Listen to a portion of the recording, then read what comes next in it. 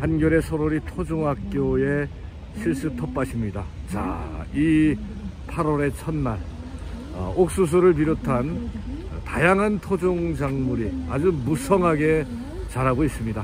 어, 물론 풀도 함께 자랍니다. 풀밭 속에 우리의 토종 작물들이 건실하게 생명의 기운을 뻗치고 있습니다. 그리고 이 한켠 비닐하우스 교실에서는 지금 논을 주제로 2부 수업이 진행되는데 또 모든 별로 어떠한 주제 발표가 있지 않나라는 어, 기대를 해봅니다. 자, 어떻게 수업이 진행되는지 에, 현장을 접근해 보겠습니다. 그냥 앉으셔가지고 왜냐하면 사람이 한 사람 볼 때 있으면 생각이 달라져요. 그래서 모둠의 구성원들이 바뀌면 다른 생각을 만날 수 있고요. 오늘 포인트는 뭐냐 하면 나와 다른 사람이 생각하는 걸 다 모아내는 거예요. 모아내서 나의 영역을 넓히는 거예요. 우리는 그러자고 지금 농사를 짓는 거고 그 농사를 어떤 방식으로 나눌까를 고민하고 이러는 거거든요. 오늘 이야기는 두 번째 파트. 세 번째 파트는 못 갈 것 같아요. 두 번째 파트는 짧게 할 수 있을 것 같아서 두 번째 파트 하겠습니다. 농작물 수확. 우리는 여기 오면 매주 농작물을 수확해서 가져갑니다. 농작물을 가져가시는 분들도 있고요. 가져오시는 분도 계세요. 그런데 가지고 오시거나 가지고 가실 때 어, 어떤 교통편으로 하지? 교통편 각자 쓰시면 돼요. 그 다음에 어, 가져갈 때 또는 가져올 때 어떻게 포장을 해서 가져오지? 어디에 담아갔나? 담아가는 거. 세 번째, 나는 그렇게 가져간 농작물을 어떻게 활용해서 먹지? 그 다음 네 번째, 어, 이걸 어떤 방식으로 우리는 나누고 있지? 작게 이 공간에서 하지만 전 지구적으로 지금 이런 일들을 하고 있거든요.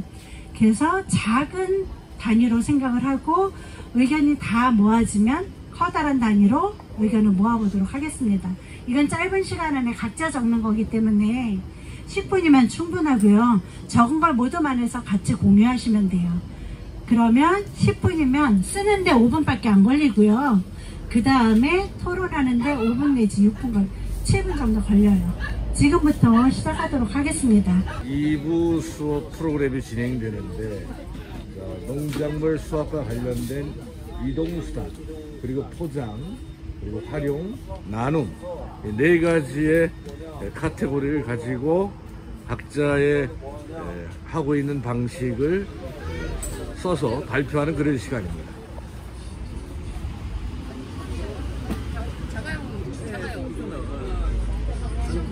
이, 이 방식이 있고요. 택배.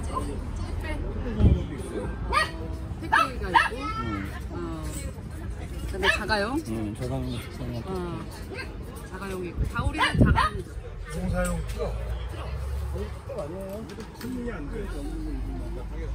농작물 수확.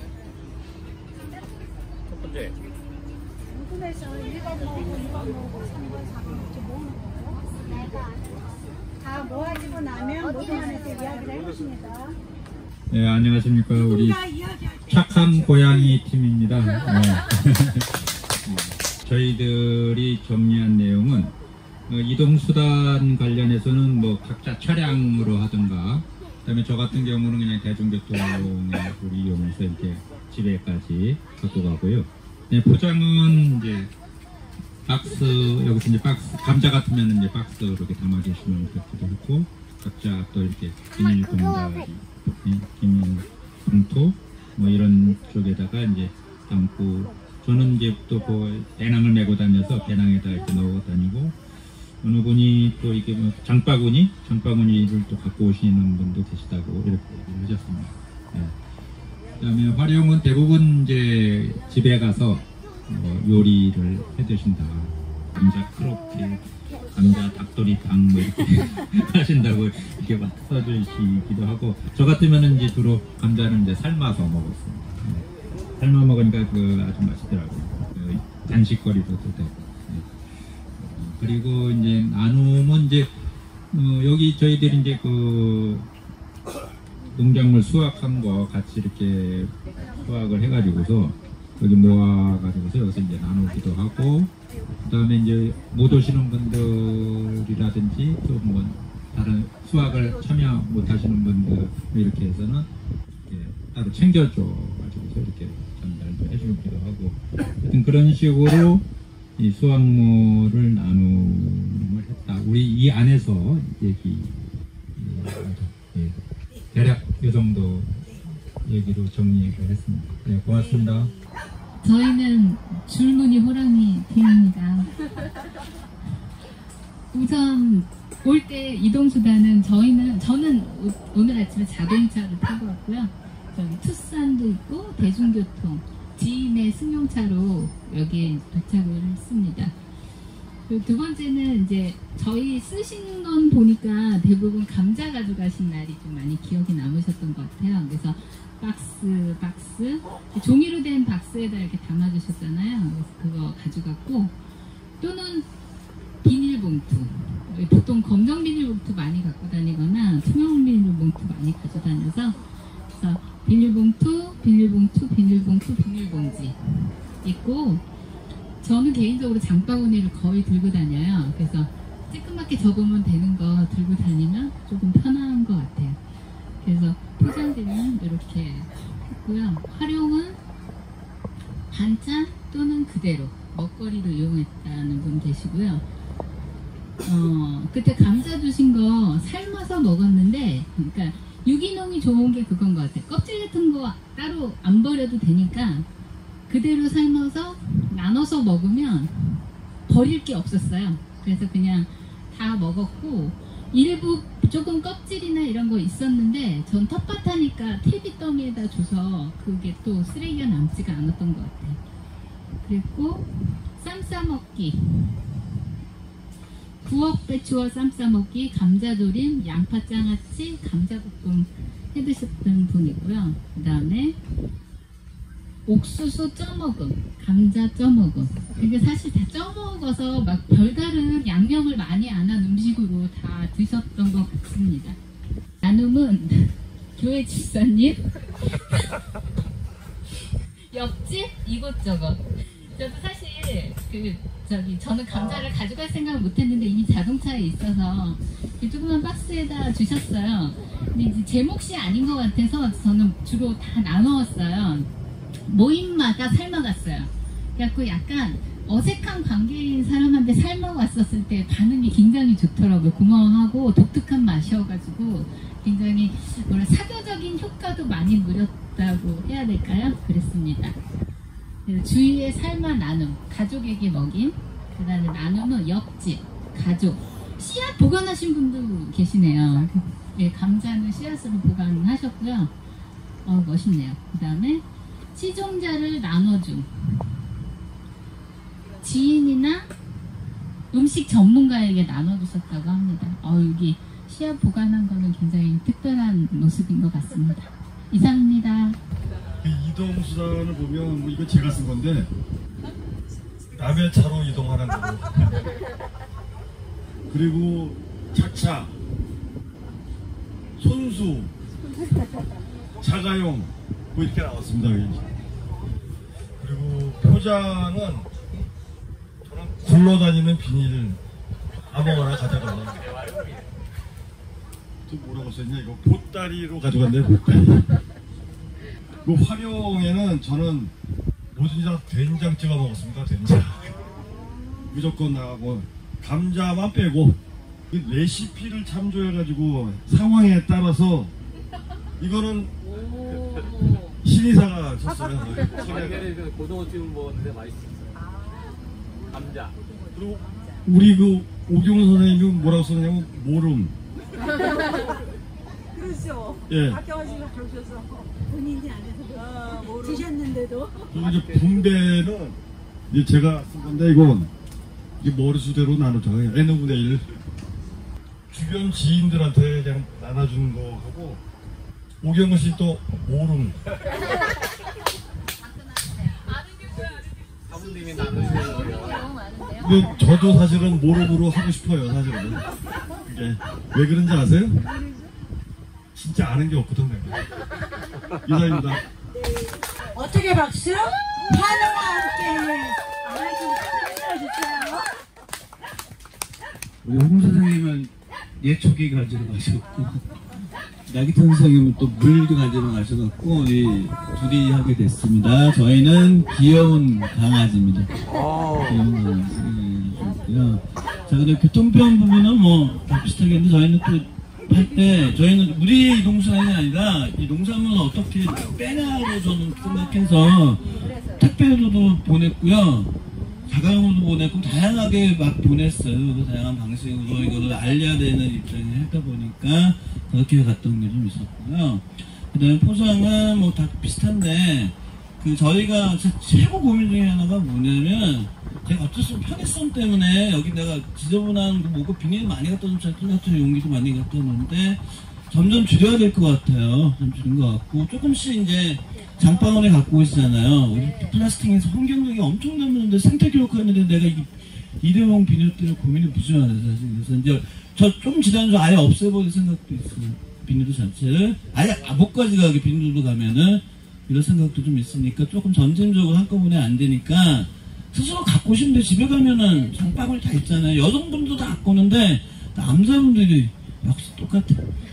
네, 이거는 좀 앞으로 우리 전 교육생들 스스로 좀 실천했으면 좋겠고요. 그 정도는. 네, 환영은 저는 뭐 맨날 가서 여기 와서 하는 일이 막 묻히고 뭐 하는 건데 우리 최영 선생님은 장아찌 하셨고 그 다음에 우리 뭐 능상 선생님 찌개 국거리 무침도 하시고 그 다음에 최근에 뭐 저희 거 가져가서 토종 쌀 가져가서 강정 한번 드셨었잖아요. 음, 강정으로도 활용되셨고 나중에 강의하신 월남생도 하실 텐데 먹 이제 레- 요리 레시피 하실 텐데 사연법사 막걸리 부위주로도 만들고 다양하게 저희는 좀, 좀 활용하고 있는 편이에요. 저 정도가 뭐 교육엔 참여 안 하시지만 대부분 강사님들이 이렇게 한다고 보시면 되겠고요. 나눔 중에 이게 저희는 제일 중요한데 나눔 중에 우리 창준 선생님은 아파트 잔치했대요. 감자. 이게 중요해요. 나누면서 홍보하는 거예요. 나누면서 홍보 아까 나왔던 구체적 홍보는 나누면서 홍보하는 게 최고예요. 씨앗도 씨앗을 나누면서 하는 게 최고입니다. 근데 저희가 씨앗이 전국에서 제일 많아요. 7동안 만원초 평졌거든요. 여기 말고 위까지 합치면은 그 씨앗은 토종운동 확산이 되게 중요해요. 모자라요 씨앗 구하려면 저희도 이번에 구정 더 늘렸는데 7평에 그 9종 구하는 게 너무 힘들었어요. 힘든데 왜냐하면 대부분이 토종농 쪽이 소종, 소상농 소농이 많아요. 그러니까 이게 씨앗, 나눌 만한 씨앗도 많지 않은 문제가 좀 있어서 씨앗 확보는 굉장히 중요하다. 이거고요. 그 다음에 용품 저는, 저는 이제 개인적으로 이망님들 사회적 협동을 총괄하고 뭐 교육을 총괄하는 입장에서는 이것들이 서민들 대중에게 알려지는 문화 하나 제일 중요한 부분 유통이거든요. 유통인데 대부분은 자금농 위주로만 고민하는데 이것이 팍, 팍 퍼져야 되잖아요. 그래서 저희 조합 중에 이제 농협과 관련된 분이 있어서 농협의 최고 대빵들 일곱 명 모임이 있어요. 친목 모임이 뭐 농협 은행장, 경제지주 당, 전, 농협 유통 총괄장 뭐 해갖고 일곱 명이 있는데 거기에 이번에 그 자주감자를 한번 줬어요. 달라 그래서 평생 처음 먹어봤다는 거 일곱 명이 또 달래. 우리 교육생도 못 가서 하고 이제 그만 먹으라고. 그래서 내 다음번에 옥수수 또 토종 나온다니까 언제 주냐고 맨날 전화 와요. 근데 여기 이번에 만 개 나오니까 지금 제가 이거 왜 하냐면요. 농협에 유통을 하고 싶어서 주는 거예요, 나눔을. 그래서 어느, 어, 지금에 거의 확정은 됐는데, 저희 추수 끝나면, 어, 11월, 어째 예정이 10월 27일 정도 되는데, 끝나면 12월부터, 어, 12월 말까지 한 달 동안, 그 대형 농협 중에 조그만 거 말고 대형 마트 있죠. 양재 하나로 클럽, 뭐 저기 창동 하나로 클럽, 고양 하나 다섯 개가 수도권에 있어요. 거기를 우리 생산한 우리 이제 나눔하고 남는 거 있죠. 나눔 납고 쌀하고 생산한 그 우리 아까 얘기했던 뭐 강정, 막걸리, 뭐 가공식품들 이런 것들을 특판을 주기로 했어요. 거기 특판이라는 거 하나에서 별도하게 그 순회를 다섯 군데 순회를 지금 계획 중에 그 권한자들이 이분들. 그래서 좀 이런 나눔을 통해서 자연스럽게 우리를 도와달라고 이제 하는 것들이 저희가 좀, 좀 실천하고 있는 내용들이니까 좀 유심히 봐주세요. 응. 그게 좀 특이한 것 같고요. 동네 아주머니한테 많이 준대요. 임 선생님은. 그리고 저희 함께 못했던 분들 제가 또 나눠주고 있고 이상입니다. 네, 수였습니다. 두 시간이 흘렀어요. 원래 이 1시간 반 안에 세 가지를 하겠다라고 제가 욕심을 부려봤는데 충분한 이야기가 나오려면 2시간은 걸려야 되는 것 같고 두 가지 정도의 이야기를 해야 될 것 같아요. 농작물 수확을 주제로 했던 이유가 있어요. 우리가 먹을거리가 전 세계가 한 덩어리로 움직인다라고 했잖아요. 그러면서 나오는 문제가 에너지 문제인 거예요. 이동수단에서. 그리고 내가 선택하지 못해요. 뭘 어떻게 했는지. 그런데 여기에서는 함께 농사를 지으면서 공유하고 그리고 그 수확물을 같이 농사 지으면서 나누는 것까지 하죠. 이동수단은 대부분 멀리 있으니까 가까이 계셔도 교통수단을 사용할 수밖에 없어요. 우리 에너지 문제 굉장히 심각해요. 지구온난화의 원인이죠. 화석연료 때문에 하고 있는데도 불구하고 이동수단에 대한 부분은 어떻게 할 것인가? 우리는 개인 차량으로 계속 다녀야 될까? 아니면 대중교통을 많이 이용해야 될까? 에너지를 어떻게 쓰는 것이 지금 수연이와 수진이와 수인이와 준영이가 살고 있는 살아야 될 미래. 나의 내일 나의 10년 뒤 아이들의 10년 뒤 30년 뒤 100세 시대라고 하잖아요. 지금과 같은 속도면 지구는 빨간 덩어리가 돼가지고 험악한 속도로 우리한테 자연으로부터 엄청난 충격을 줄 거예요 그러면 이동수단은 단순한 이동수단이 아닌 거죠. 에너지에 대한 고민이 굉장히 많이 있습니다. 우리 에어컨, 어, 에어컨 없으면 저도 잘 못 살겠어요. 그런데 어떻게 하면 덜 쓸까? 아니면 어떻게 하면 우리가 함께 있는 공간에서 에너지를 쓰고 그 다음에 혼자 있을 때는 다른 방식의 것. 옛날 우리 조상들은 에어컨이 없을 때 어떻게 살았지? 선풍기가 없을 때는 어떻게 살았지? 그러면 내 몸을 식히기 위해서는 어떻게 했을까? 라는 생각들을 많이 해야 되는 거죠. 근데 이건 개인이 할 수 있는 거고요. 정책적으로 해야 되잖아요. 정책적으로 어떻게 해야 되죠? 에너지가 오는 길에 가급적이면 짧게. 우리 송전탑 오면서 굉장히 많이 봐요. 밀양 할머니들 송전탑 때문에 굉장히 많이 이야기들 하시죠. 보리 원전 뭐 이렇게 있는 곳에서는 군돈의 아빠라는 군돈의 가족이 있어요. 아들이 하나인데 지체예요. 정신지체. 그 몸도 굉장히 비대해요. 다 함께 암이 걸렸어요. 발전소 옆에서 한 20년 가까이 살면서 아내가 먼저 갑상선 암이었고 그 다음에 군도는 태어나기를 이상하게 태어났고 그 다음에 아빠도 장 쪽에 문제가 생겨가지고 암으로 치료받고 이런 일들이 하면서 그분이 전국에 우리가 쓰는 에너지가 나오는 곳에 사는 사람들은 이런 일을 겪고 있다. 이거 지속 가능한 에너지가 아니다라는 이야기를 합니다. 우린 지속 가능한 에너지에 대한 고민을 많이 해야 되는 거죠. 그래서 지금처럼 풍요롭게 사는 것에 앞장서는 것이 아니라 앞서는 게 아니라 풍요로운 것 뒷면에 숨어 있는 것을 생각해 볼 수 있는 시간 그런 시간들을 가져야 될 것 같습니다. 포장 어, 요즘은 회사 때문에 모든 게 포장을 잘해야 돼요. 이동시켜야 된다라는 이유로 그런데 모든 걸 포장을 잘해야 된다라고 하는 건 정부가 하는 말이고 그 포장재들 때문에 우리는 미세 플라스틱이라는 것으로 결국 돌고 돌아서 내 몸에 미세 플라스틱이 오죠. 칫솔에서 치약에서도 오고 화장품에서도 오고 안 오는 데가 없어요. 그럼 내가 선택할 수 있는 개인이 선택할 수 있는 것과 정책적으로 선택할 수 있는 게 다르겠죠. 이런 생각들. 그 다음에 활용하는 방식. 다양한 방식의 이야기들이 나왔어요. 그대로 먹는다. 감자 같은 경우는 껍질째 먹고 혹시 껍질이 나오는 여러 가지 반찬들은 퇴비화 시킨다라는 이야기도 있고요. 요리를 다양하게 하고 어, 플라스틱에 대한 고민은 마지막 모듬, 귀여운 강아지 모듬에서 많이 해줬어요. 여기에서도 비닐봉지 없앨 계획이다라고 차츰 없애야 되겠다라는 다짐도 해주셨고요. 이건 굉장히 필요해 보입니다. 다양한 먹을거리에 변신해서 어, 막걸리가 좀 색달랐어요. 막걸리. 쌀의 변신으로 할 수 있겠죠. 그 다음에 나눔, 분배 문제예요. 지금은 전 세계가 식량이 부족한 게 아니라 사실은 분배가 잘못된 거죠. 어떻게 분배가 잘못됐냐 하면 육식을 먹는 사람들을 위해서 그냥 식물체로 먹을 수 있는 것들을 동물한테 다 먹이고 그 다음에 고기 한 그릇 먹고 소고기 1kg 먹으려면 20명이 먹어야 되는 옥수수를 섞어 먹어야 돼요. 말도 안 되는 일들이잖아요. 그러한 일들이 벌어지고 있는 현실 속에서 우리는 육식에 대한 부분은 어떤 식으로 할까? 전 어렸을 때 그렇게 육식 많이 안 했어요.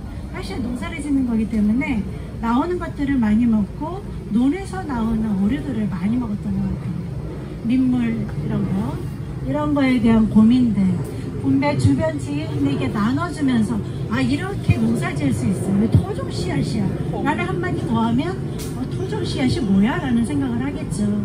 나눔이라는 과정에 대해서 토종이라는 존재 이야기를 할 수 있고 어 그럼 토종이 왜 중요해? 라는 생각을 할 수 있는 거리를 주는 거죠. 우리는 로열티를 물고서 살고 있어요. 그 로열티가 2002년에 우리가 식물 신품종 어 그 갑자기 생각이 안 나네? UPOV라고. 네 신품종 그 가입한 나라들 교사국들 간에 로열티를 물 수밖에 없도록 해놨고 우리나라는 자, 그 종자에 대한 자금률이 떨어졌기 때문에 딸기 같은 경우는 거의 90% 가까이 일본산이었어요. 그런 것에 로열티를 너무 많이 무니까 자극을 하기 위해서 충남 기술원, 농업기술원에서 굉장히 많이 노력을 해서 지금 우리나라의 딸기의 많은 부분은 서량 1등, 네, 97% 이상 국내산입니다. 이렇게 되어가는 과정을 겪고 있어요.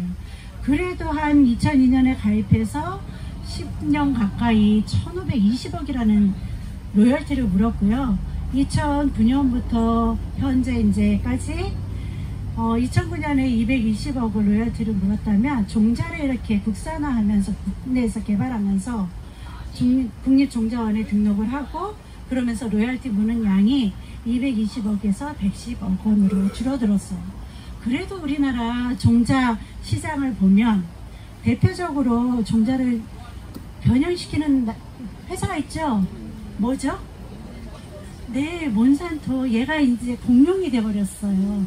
몬산토가 아니고요. 아스피린 나오는 회사, 제약회사, 바이아이랑 합병이 돼버렸습니다. 무서워요. 무서운 공- 정말 어마어마한 상태를 반했기 때문에 종자에 대한 부분은 우리가 끊임없이 연구하고 국내산으로 해야 되고 작업할 수 있도록 해야 되겠죠. 이 분배라는 문제를 통해서 우리는 단지 옥수수를 나누고 감자를 나누지만 한마디 하잖아요. 어 이거 토종 감자야 자주 감자 먹어봤어? 이런 이야기 하죠 하면 사람들이 어 그런 게 있었어? 토종이 뭔데? 라는 질문들을 할 거예요 이럴 때 한마디 하는 것이 홍보인 거죠 이런 식으로 우리는 우리 주변에서 할 수 있는 건 그렇게 하지만 커다란 지구 차원의 식물 저기 푸드 시스템은 먹을거리가 이렇게 체인으로 연결되어 있는 고리고리들을 우리는 어떻게 작업으로 바꿀 것인가 쌀은 지켜낼 수 있다 그러나 논이 줄어들면 안 된다 그렇지만 논의 악기발이 고시입가리 뭐 이런 것들 다 밀키 뭐죠? 밀크킨 이런 것들 다 우리나라 거 아니에요. 종자를 주고 있습니다. 대표적으로 우리 색깔 있는 거 먹어야 몸에 좋다라고 하는 피망 색깔 있는 것들이 있죠. 로열티 100%입니다. 그 다음에 우리나라에서 종자 개발한 청양고추 개발했지만 1997년 종자회사가 넘어갈 때 그 당시에 대통령이 누구였죠? 전 나쁜 놈이라고 하는데 하면 안 되는데 그분이 지키지 못했기 때문에 지금 같은 고생하고 있잖아요. 청양고추 먹을 때마다 우리는 로열티를 내고 있습니다. 누가 내요? 농민이 종자를 살 때 그러나 최종적으로는 소비자가 내고 있습니다. 그 종자에 대한 자금률을 높이는 것 우리가 토종 종자를 잘 받아서 조금 조금씩 나누면서 키워보세요 라는 말 한마디만 해주면 조금씩 달라질 거예요. 오늘 이야기는 기후변화의 시대에 우리가 어, 농환경이라는 것이 어떻게 연결되어 있고 우리한테 지금 지킬 수 있는 것 종자가 굉장히 중요하다. 이동을 할 때 에너지를 쓰는 부분을 어떻게 가져갈 것인가 그리고 알아야 되는 사람들은 농사 짓는 사람 얼마 안 돼요. 200만이 좀 넘는 정도예요. 우리나라 인구 얼마죠? 5천만이 넘습니다. 그 중에 200 몇십만 밖에 안 돼요. 점점 줄어들고 아, 젊은 층들이 가기는 하지만 가가지고 할 수 있는 것이 그렇게 많지는 않은 상황. 여기를 어떻게 길을 넓혀서 농사를 작업할 수 있게 만들고 그 다음에 농민으로 사는 게 자부심을 느낄 수 있게 할 것인가. 우리가 해야 될 몫인 것 같고요. 논살림을 하면서 끊임없이 생각하는 몫이기도 합니다. 네 오늘 여러분들과 함께 하면서 저도 즐거웠고 여러분들이 즐겁게 해주셔서 감사했습니다. 이상 마치겠습니다